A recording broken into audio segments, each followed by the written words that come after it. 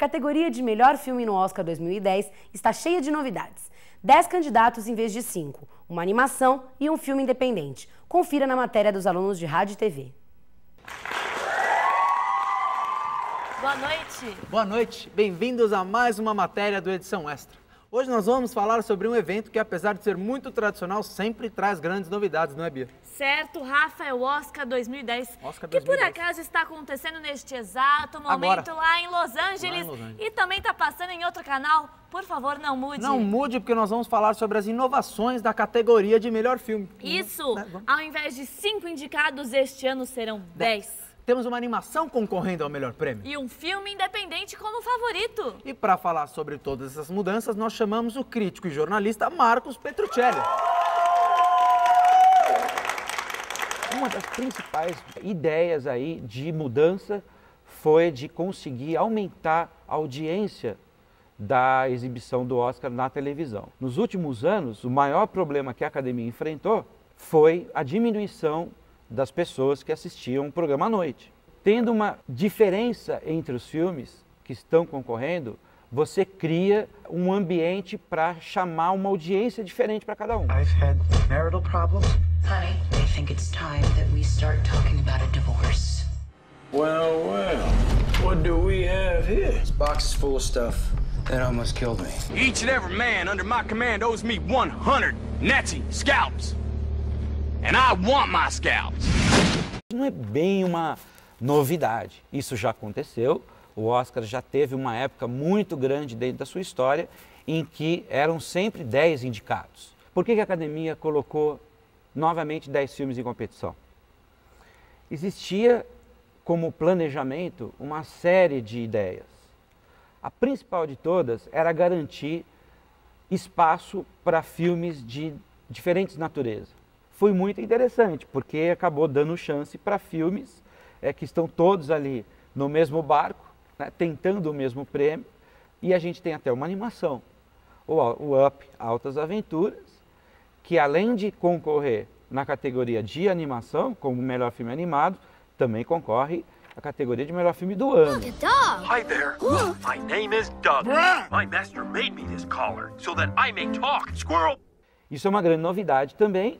Quer dizer, ela é uma novidade que não, não acontecia desde O Rei Leão, que foi um filme que concorreu ao Oscar. Eu considero essas mudanças altamente positivas.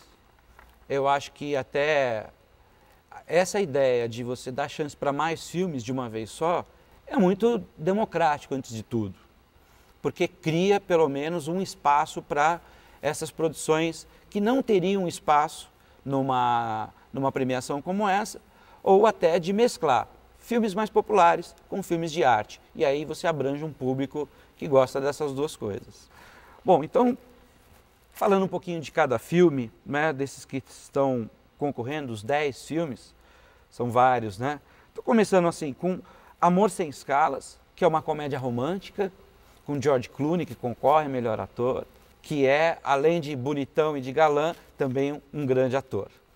Um Homem Sério, que é dos irmãos Coen, e que me parece só concorre nessa categoria, mas é um filme realmente espetacular, que eu, eu particularmente gosto muito do trabalho desses dois irmãos. Preciosa, que é um filme muito independente e que surpreendeu a todos pelas atrizes, né? Então, Preciosa é realmente um filme que merece estar lá no Oscar com as indicações que tem. Distrito 9 é uma ficção científica produzida pelo Peter Jackson mesmo, do Senhor dos Anéis, e que tem uma metáfora é, do apartheid.